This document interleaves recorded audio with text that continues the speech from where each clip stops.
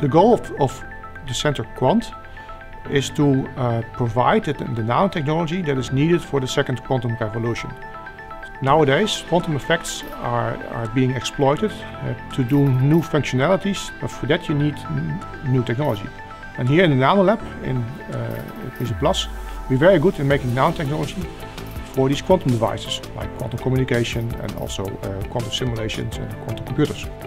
Quantum technology ranges from already commercial quantum communication systems to universal quantum computers at a very far horizon. In between, a wealth of nanotechnology is to be developed. And that is exactly a key strength of the Mesa Plus Institute for Nanotechnology and its Nanolab, here at the University of Twente. There has been a first quantum revolution, if you like. That is where uh, physicists started to uh, realize that you need quantum mechanics to describe matter. Uh, and they started using that information to make uh, MRI scanners, for instance, or understand how new molecules are, are, have to be ma made in the lab. But in the second quantum revolution, uh, we go step one step further. We start using quantum information. So in, in normal computers, we have bits, zeros and ones, uh, but instead of using the classical information, we can use quantum information. And the theory is developing fast, but now we also need the technology to actually implement, to actually do something with this manipulation of this information. Like simulating quantum systems with one device to simulate something which you cannot implement in the laboratory.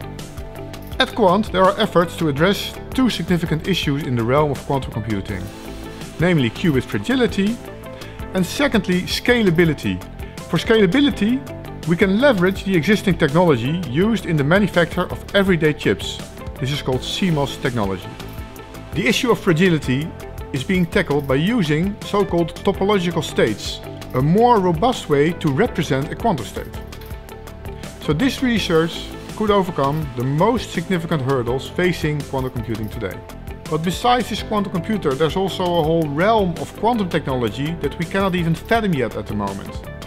But we know for sure that there will be quantum technology and we want to be part of it.